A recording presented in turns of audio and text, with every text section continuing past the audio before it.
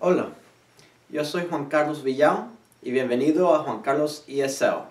En la clase de hoy voy a compartir con ustedes un nuevo objetivo. El objetivo de hoy es lo siguiente. Primero se lo voy a leer a ustedes en inglés y después se lo traduzco a español. Objective. By the end of this lesson, given a lecture, sample sentences, and a read aloud segment, the ESL student should be able to practice reading and writing nine formal sentences using the be verb. Objetivo. Al fin de esta lección, dada una enseñanza, oraciones ejemplares y un segmento de leer en voz alta, el estudiante de ESL, que quiere decir inglés como una segunda idioma, debe tener la habilidad de practicar leyendo y escribiendo nueve oraciones formales utilizando el be verb. Entonces, este es nuestro objetivo, esta es la meta de hoy y eso es lo que quiero compartir con ustedes. Vamos a estar hablando de be verb. Entonces, ¿qué es un be Un be verb puede ser una de tres palabras. Am, is, are, que se traduce al español am, soy, is, es, are, puede ser son, está, somos o estamos. Depende del contexto de la oración. Entonces, eso vamos a hablar de en, la clase de hoy. ¿Cómo se utiliza be verbs? Am, is, and are. Y son solamente tres be verbs que se utilizan en el idioma de inglés. Y aquí tengo ejemplos. Tomen en cuenta que hay espacios vacíos en cada oración que tengo en la pizarra de hoy. Y una de estas tres palabras, uno de estos tres be verbs es que va a ocupar esos espacios vacíos. Comencemos. I blank from Ecuador. Aquí, cuando uno habla de uno mismo, se utiliza la palabra I.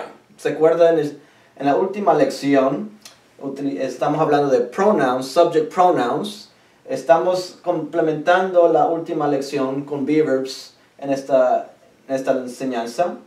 I es el pronoun hablando de uno mismo. Entonces, cuando uno habla de uno mismo, nosotros nos toca utilizar am. Entonces, uno quiere decir en inglés, I am from Ecuador. Yo soy de Ecuador. Entonces, I am from Ecuador. Yo soy de Ecuador. Entonces, cuando uno habla de uno mismo, utilizando el subject pronoun I, nos toca utilizar el be verb am. En el siguiente ejemplo, subject pronoun he, aquí se acuerdan, también utilizamos he. Cuando uno habla de he, es tercera persona y también el sujeto es singular. Entonces, cuando la oración habla, el sujeto de la oración es he y es singular, nos toca utilizar el be verb is.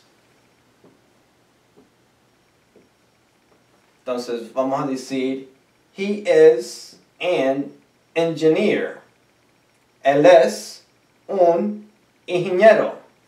Entonces, engineer se traduce a ingeniero. También un punto que quiero tomar en cuenta en esta oración, tome en cuenta que la palabra engineer comienza con el vocal E, que en inglés se dice I.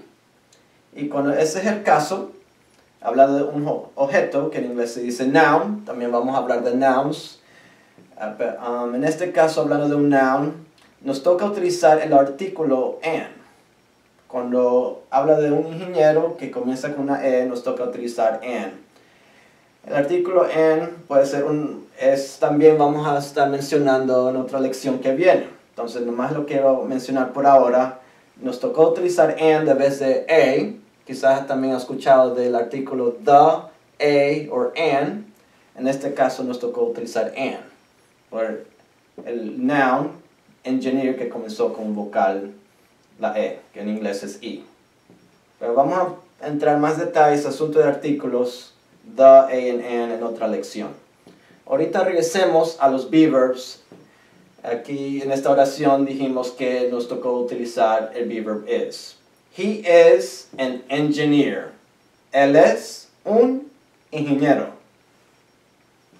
Number three. Número tres. She, blank, a waitress. Entonces, otra vez, también el sujeto es singular y tercera persona. Entonces, estamos hablando de una mujer. Se acuerda que she se refiere a una mujer. Entonces, vamos a decir she is.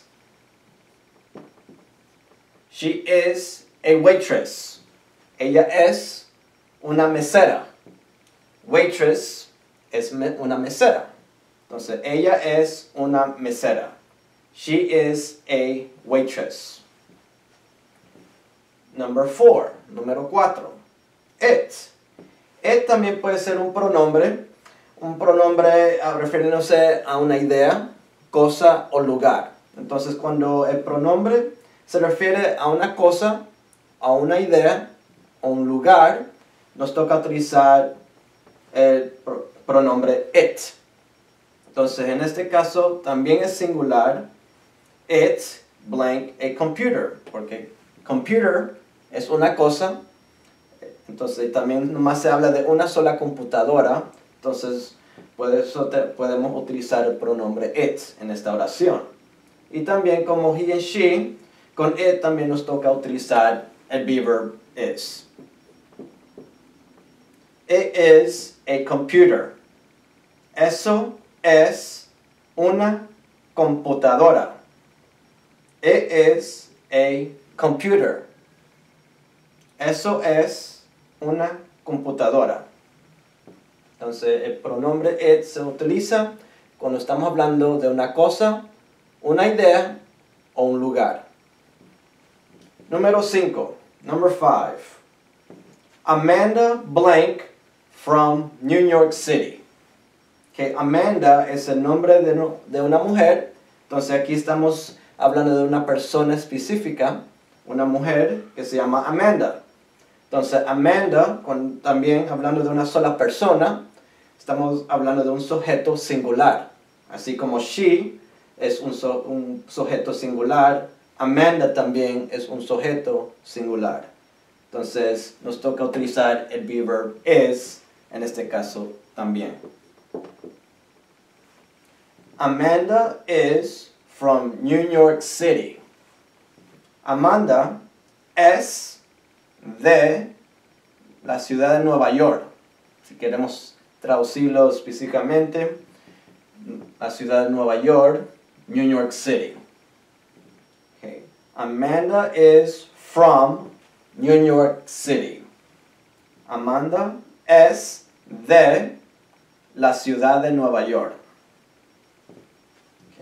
Number six. Número seis. The information blank in the book. Entonces aquí nuestro sujeto es un término general. Se refiere the information, la información. En este caso, information es una idea. Similar a refiriéndose al pronombre it, dijimos que it se utiliza cuando estamos hablando de una cosa, una idea o un lugar. En este caso, número 6, the information, estamos hablando de una idea, un término general, información. Entonces, cuando hablamos de information, una idea, y es un término general, también nosotros nos toca utilizar el verb is. The information is in the book. The information is in the book. La información está en el libro. Entonces, en este caso, también es, se puede traducir a significar está. Puede ser es o está, como en este caso, the information is in the book, la información está en el libro. Ok, okay. continuamos. con número 7. Aquí número 7, number 7 en inglés. We, se acuerda del pronombre we, que quiere decir nosotros. Ahora en este caso dijimos el sujeto we es plural. Está, está hablando de dos o más personas. Entonces we también quiere decir que usted se incluyó como parte del grupo. We, que en español es nosotros. Entonces ya sabemos que es plural. We blank in the United States. Entonces, cuando estamos utilizando we como sujeto de la oración, nos toca utilizar el verb are. We are in the, the United States. Nosotros estamos en los Estados Unidos. We are in the United States. Nosotros estamos en los Estados Unidos. Entonces, ese es número 7. We are in the United States. Number 8. Número 8. You. ¿Se acuerda el sujeto you? Es usted. Entonces, you también es un sujeto que requiere utilizar el verb are. Entonces, otro detalle que quiero compartir con ustedes, asunto del pronombre you. El eh, you, pronombre you puede ser singular o puede ser plural, depende del contexto de la oración. Si está hablando de una sola persona, usted, está, es singular.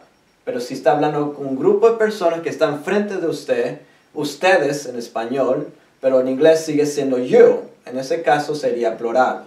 Entonces hay que tomar en cuenta ese detalle cuando utilizamos el pronombre you. Puede ser singular o puede ser plural. En este caso, you are on the internet. Estoy hablando con usted, entonces you are on the internet. Usted está en el internet. Entonces refiriéndose a un sujeto singular en este caso. You're on the internet. Entonces aquí, you are on the internet, quiere decir usted está en el internet. Ok, número 9. Ya they, se acuerda de they, es ellos. Ellos, they, blank from Europe. They, como es plural, también nos toca utilizar el verb are. They are from Europe. Ellos son de Europa. Entonces, en este caso, are se traduce a son. Entonces dijimos, you are en número 8, usted es, o usted si es plural, son. Entonces en este caso número 9, they are, ellos son de Europa. They are from Europe. Entonces, they are, ellos son. Entonces, depende del contexto de la oración, determina a qué se traduce el, el verb are. Puede ser son, puede ser somos, puede ser están o estamos. Entonces hay que tomar en cuenta los detalles en la oración para entender la traducción. Are puede tener más de una traducción al idioma de español. Entonces les comparto ese detalle para que cuando ustedes lo lean en el idioma de inglés, se acuerden del detalle que tienen que tomar en cuenta el contexto de la oración para interpretar el verb are. Entonces, they are from Europe. Ellos son de Europa. Entonces, estas son las nueve oraciones que contienen los verbs am, is, and are. Ahora, leamos estas oraciones de nuevo Repitan después de mí mientras voy a leer estas oraciones y voy a hacer algunas pausas para que nosotros también practiquemos nuestra pronunciación en estas oraciones. No nomás estamos aprendiendo gramática, pero también estamos practicando nuestra pronunciación leyendo estas oraciones en voz alta. Comencemos. I am from Ecuador.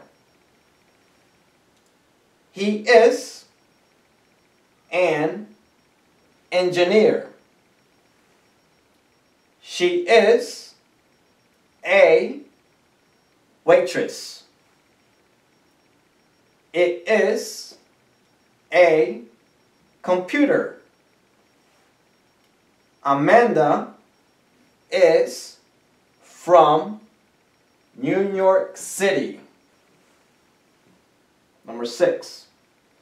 The information is in the book.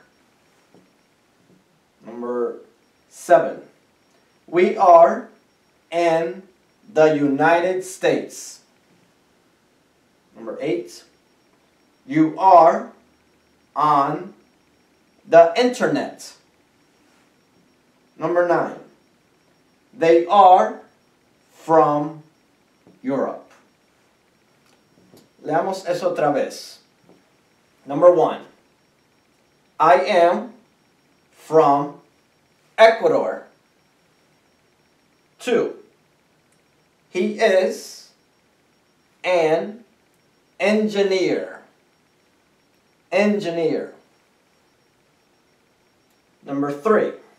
She is a waitress. Four. It is a computer. Five. Amanda is from New York City. Six. The information is in the book. The book. Seven. We are in the United States. United States. Tomemos en cuenta que hace- hay que pronunciar la S cuando se dice States.